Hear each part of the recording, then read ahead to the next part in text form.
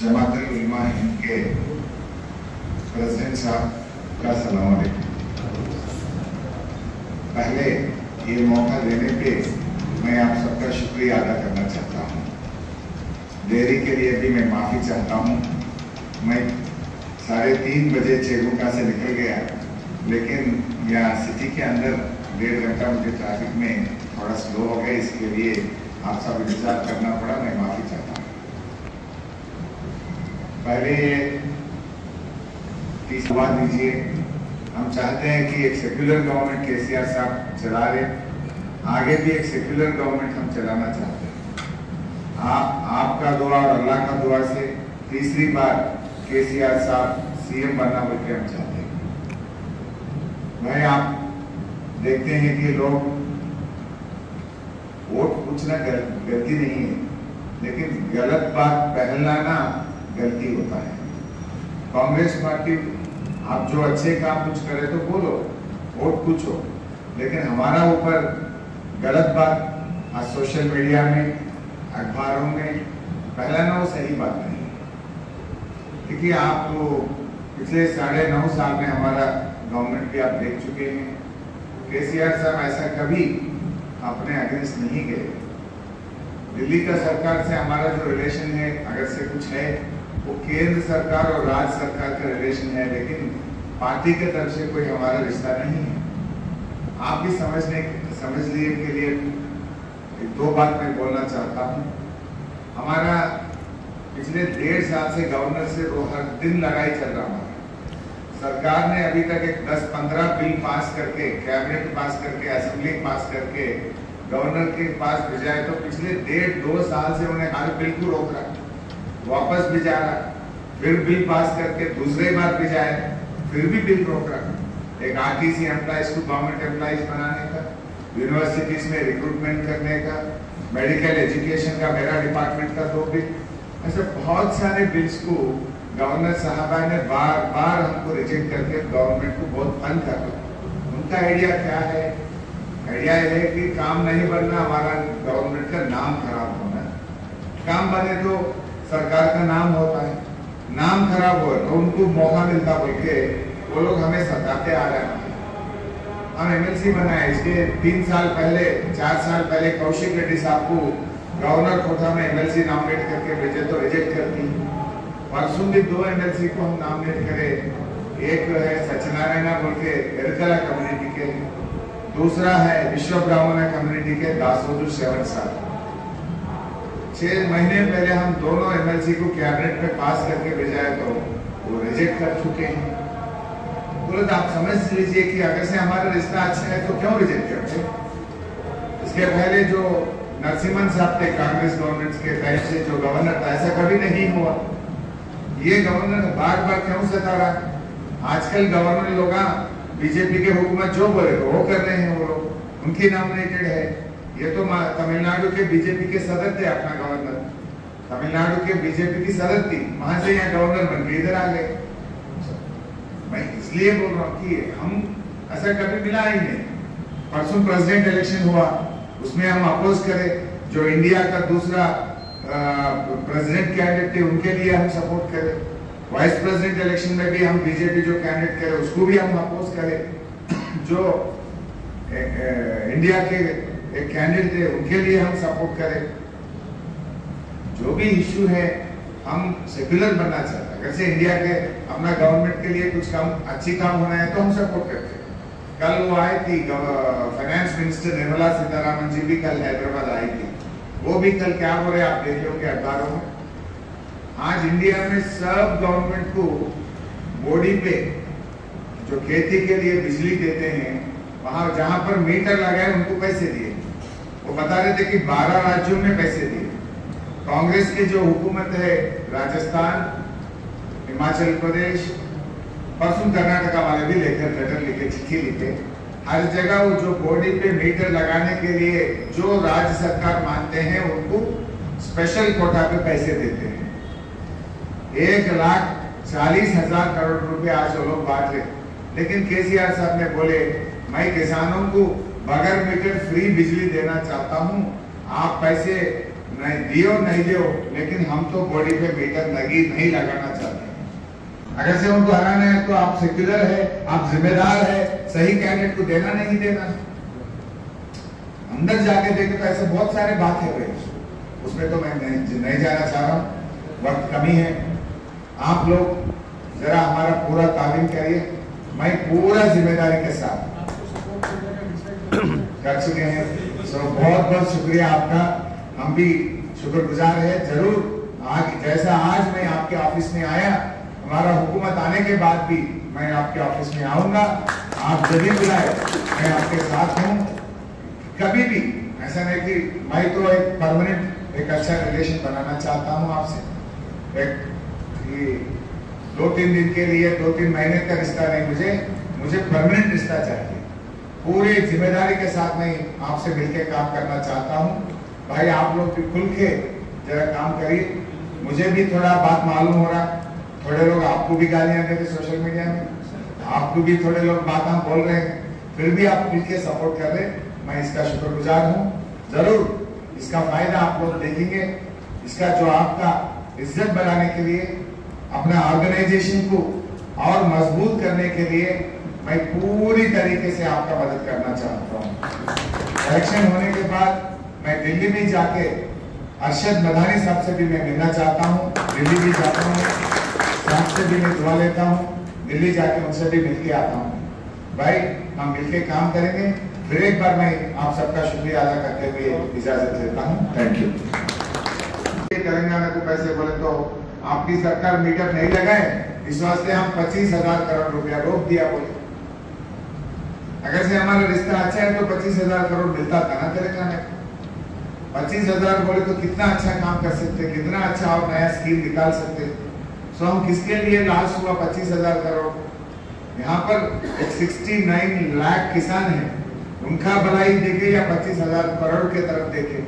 हम चिट्ठी लिखे, बहुत बार पूछे कि भाई हम मीटर नहीं लगाते, हम फ्री बिजली देते। हम जो पैसे हैं वो करंट डिपार्टमेंट को सरकार देंगे। आप क्यों इसके लिए हमारा पैसे रोकते? दे दो बोल के बहुत बार पूछे। लेकिन वो दिए नहीं। वो दिए नहीं। सो ये बात है कि हम उनके से मिलजुलना या उनसे मिलके, मिलने के सवाल ही फ़ायदा नहीं होता। इसके पहले मीटिंग में भी बताया। केसीआर साहब ने एक सेक्युलर लीडर है। हम, हमारा पार्टी आगे भी हम, जो मैं हूँ के साहब है, ज़रूर हम सेक्युलर बन के चलाना चाहते हैं। हम हंड्रेड परसेंट सेक्युलरिज्म को देखे होंगे शुक्रिया। सो हमारे सदर साहब ने, अरशद साहब ने बताया, आठ मस्जिद आठ मस्जिद की बात ही नहीं है ना भैया? वो तो गलत बात है। तीन ही मस्जिदों का मामला है। उसमें सेक्रेटरीट तो बना के सीएम साहब खुद जाके इनाग्रेशन करें। टेंपल और मस्जिद दोनों एक साथ में सीएम साहब ने कर चुके हैं, वो भी आप चाहते हैं। और एक दो ही है, छोटा सब्जेक्ट टू करेक्शन एक कोतागुडम का है और एक तीसरा है। कोतागुडम का भी फॉरेस्ट डिपार्टमेंट से प्रॉब्लम है, वो भी छोटी मस्जिद है। मैं खुद फॉरेस्ट डिपार्टमेंट से बात करा और कंजर्वेटर साहब से बात करा। हम उसको बनाने के लिए भी हम ऑलरेडी हमारा कोशिश शुरू हुआ और तीसरा भी हम बना के दे देंगे। जो तीन है, तीन में तो एक बन गया। और दो बनाने का पूरा पूरा ज़िम्मेदारी मैं ही लेता हूँ हमारा पार्टी के तरफ़ से। मैं ज़िम्मेदारी लेता हूँ। एयरपोर्ट का भी मैं ज़रूर ट्रैक मैं, उसका बात क्या है कि वो प्राइवेट के हाथ में है फिर भी थोड़ा भी गुंजाइश है। मैं बात करके हंड्रेड परसेंट उसका लिए भी हमें आप और मैं, हम मिलके ही बात करेंगे। आपको मैं साथ में रख लेके एयरपोर्ट वाले को बुलाता हूँ, उसका जो ऑफिसर है बुलाता हूँ। हम सब बैठ के बात करेंगे। मैं आपके साथ मिलके बुला के मीटिंग लेता हूँ।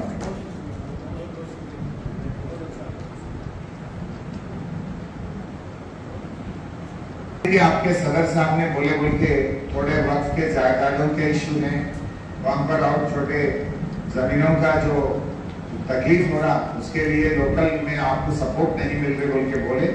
अभी तो केसीआर साहब खुद आ गए वहाँ पर। मैं ज़िम्मेदारी लेता हूँ। इसकी कमारिटी की बात नहीं है। तेलंगाना में कोई कोने पे भी ऐसा कोई गलती हो रहा है, आप मुझे बताइए। मैं आपसे और गुजारिश भी करना चाहता हूँ। कभी ऐसा तीन महीने छः महीने में एक बार बुलाइए। चाय पिलाइए जो भी इश्यू है मुझे बताइए। मैं यहीं कहीं करके जाता हूँ। कभी आपका मीटिंग होते रहता, एक डेट ऐसा तय कर लेंगे थोड़ा मेरा भी खाली है, देख लेंगे, तय कर लिए तो मैं खुद आता हूँ आपके मीटिंग में। जो भी इश्यूज़ है यहीं के यहीं मैं फ़ोन उठाता हूँ बात करता हूँ जिसको लिखना है लिख के मैं काम करके जाता हूँ। और आप लोग को भी थोड़े लोग जानते हैं इसमें मेरा तो कोई अपॉइंटमेंट सिस्टम नहीं है। मेरा दरवाज़ा 24 घंटा खुला रहता है तेलंगाना किसी को भी आप पूछिए तेलंगाना में मेरे घर पे हर दिन सुबह के टाइम में 300 से 400 लोगों को मैं मिलता हूँ। कोई अपॉइंटमेंट सिस्टम नहीं जितने भी कहीं कोने कोने से लोग आते हैं जो हो सकता मेरे से, फटाफट मैं ही काम करता हूँ। जितने लोग आते खाना भी तैयार रहता, मेरे पास सुबह के टाइम में टिफ़िन टिफ़िन सिस्टम नहीं है, थोड़ा खाना रहता, दाल रहता, थोड़ा तरकारी रहता। जितने गरीब लोग दूर दूर से आते हैं, थोड़ा खाना खिलाता हूँ। दो चार पिए रहते हैं मेरा, फटाफट कागज़ देते लेटर दे देते जिसको फ़ोन करना है, करके जो मेरे उससे हो सकते हैं। पिछले दस साल से मैं मिनिस्टर होके वो काम कर रहे थे, आ रहा हूँ। आप भी, कोई भी कभी भी मेरे को मिले आ सकते हैं। या कैसे तीन महीने, छह महीने में मुझे बुलाइए, मैं खुद आ जाता हूँ। यहाँ के बैठ के जो भी जेन्यून इश्यू है, फटाफट कर देंगे गवर्नमेंट और आपके बीच में मैं रहता हूँ, एक रिश्ता, एक शॉक ऑब्जर्वर जैसा मैं काम करने के लिए तैयार हूँ। जो भी आपका गवर्नमेंट का बात आपको बताने के लिए, मैं बीच में काम करने के लिए तैयार हूँ। मिलके काम करेंगे। ये नहीं कि देखो भैया, अभी मैं बीस साल से और पॉलिटिक्स में रहने वाला हूँ। आज ये कुछ गलत बात बोल के गए तो फिर कल के दिन मेरा मुँह ही नहीं रहता ना। कहाँ जाने वाला हूँ मैं?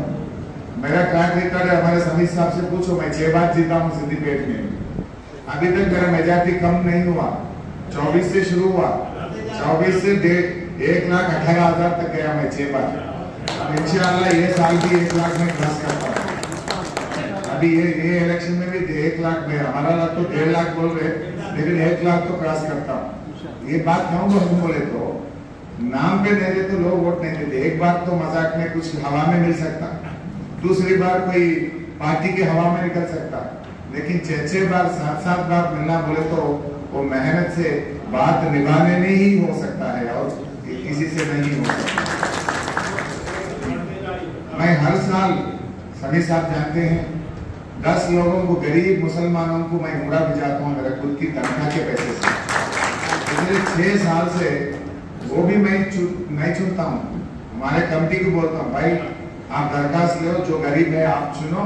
जो दस लोगों को आप चुनते हैं मैं ही फ़्लाइट टिकट बना के उनका आने का जाने का इंतज़ाम करके हर साल दस लोगों को मैं उमरा भिजाया हूँ पिछले छह सात साल से भिजा जो भी काम है मेरे पास डबल बेडरूम दिया। दो हज़ार डबल बेडरूम दिए तो छह सौ पचास मुसलमान लोगों को मिला सिद्धि क्यों? बोले तो गरीबी ज़्यादा है।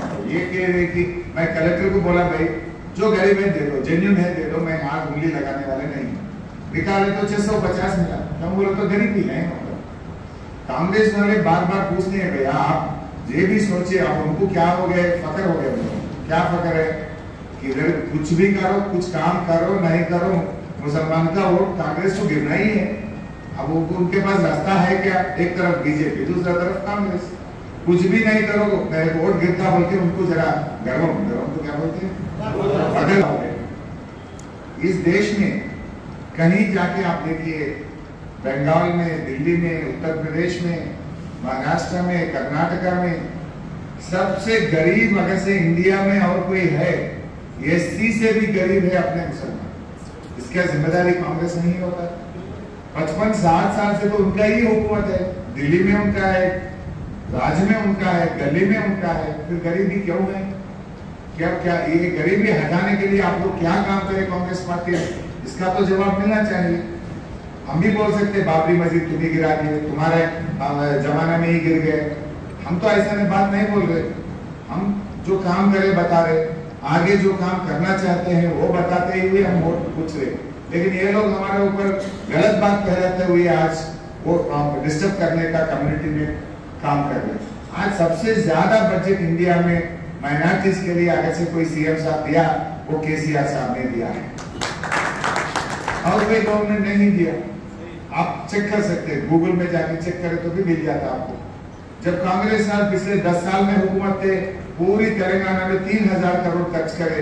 ये अब दो साल बीच में कोरोना है, फिर भी केसीआर साहब ने ग्यारह हज़ार करोड़ रुपया अपने माइनॉरिटीज के लिए खर्च करे सो रकम की बात बोल रहा हूँ। आज पढ़ाई का टिमरिस का, बच्चों फॉरन में पढ़ाने का, शादी मुबारक का, थोड़े अच्छे काम हुआ। थोड़े काम और भी भरना है। और थोड़ा काम करना है। थोड़े जगह है। कि ही हम दस काम पूछे तो दस एक साथ में नहीं मिलता। एक दो मिल सकता है। हम तो आदमी हैं। केसीआर साहब तो हम तो आदमी हैं। फिर भी हम दस में एक सात आठ काम निकाले। दो तीन बच गए होंगे। ज़रूर आगे अल्हम्दुलिल्लाह अल्लाह का दुआ से पूरा का पूरा करने के लिए हम पूरी पूरी ताकत से कोशिश करेंगे। पूरी तरीके से हम कोशिश करेंगे। हमारे को बीच में थोड़ा तकलीफ़ आया। दो साल की कोरोना के बाद आई पिछले साल पाँच साल में बीजेपी सरकार हमारे को बहुत तंग कर रही मैं तो फाइनेंस मिनिस्टर हूँ। अब खजाना चलाने का ज़िम्मेदारी मेरे पास रहता है।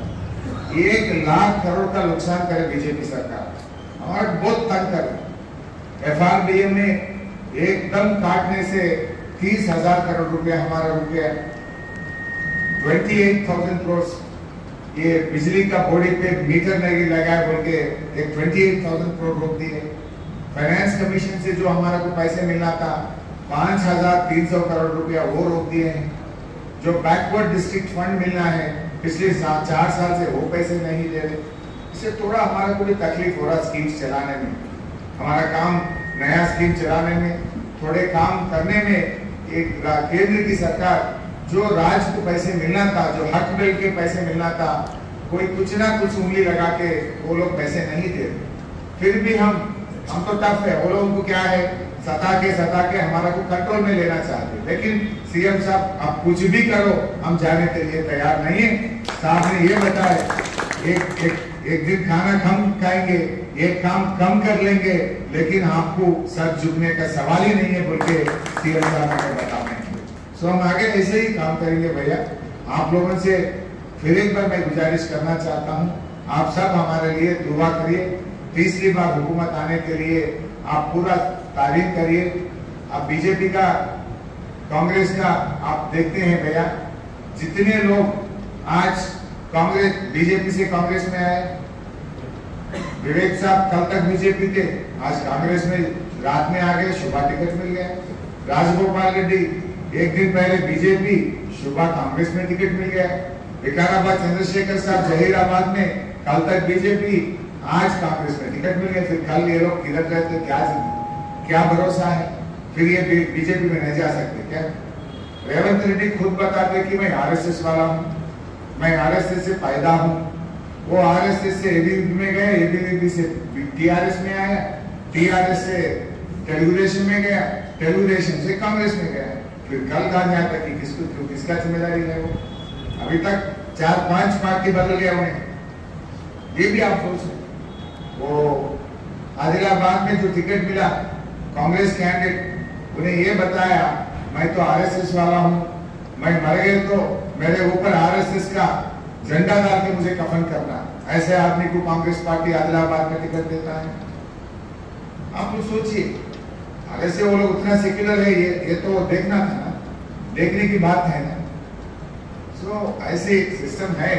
अब बहुत सारे लोग आज ऐसा हो रहा वो बाई इलेक्शन हुआ तेलंगाना में तीन बाई इलेक्शन हुआ।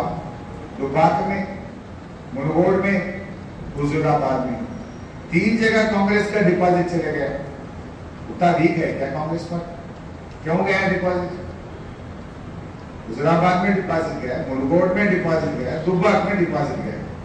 इससे क्या अंदाज़ा बनता है अपने को? दोनों मिल लिया हमारे को हराने के लिए कांग्रेस पूरा बीजेपी का ताबिन करे इस वास्ते कांग्रेस का तीन जगह डिपॉजिट गया कैसा जाता डिपॉजिट नहीं तो डिपॉजिट तो मिलना है कम से कम। तीन जगह जाता एक जगह बोल तो ठीक है, कोई कैंडिडेट वीक है, समझ सकते हैं। अब वो, अब क्या कर रहे हैं? दोनों अंडरस्टैंडिंग कर लेते तेलंगाना में आप चेक कर लीजिए, निर्मल में कांग्रेस ने वीक कैंडिडेट दिया। वहाँ आज बीजेपी और बीआरएस का टकरा चला मुधोल में कांग्रेस वीक कैंडिडेट दिया। मुधोल में बीआरएस और बीजेपी का टकरा चल रहा होगा आप ऐसे चेक कर लीजिए थोड़ा जगह। ऐसे छह सात जगह दोनों अंडरस्टैंडिंग में बीजेपी को जहाँ स्ट्रांग है, वो कांग्रेस का डमी कैंडिडेट बन वहाँ आज बीजेपी बीआरएस का लड़ाई चले दस जगह ऐसा है। आप गौशा महल में देखो, किसको दिए कांग्रेस पार्टी वो तो कंप्लीट डमी कैंडिडेट आज वहाँ फाइट गौशा महल में राजा सिंह को हराने के लिए पूरा ताकत लगा के बीआरएस ने लड़ रहा है वहाँ पर। कांग्रेस के अंदर डमी कैंडिडेट को नहीं दिया, आप चेक करिए। उनको डिपॉजिट भी नहीं तमाम हजरात के मैं शुक्रगुजार हैं कि आप हजरात ने भी बहुत शॉर्ट नोटिस पे तीन चार दिन की नोटिस पे अपनी मसरूफियात में से वक्त फारिग कर करके आप यहाँ तशरीफ़ लाए।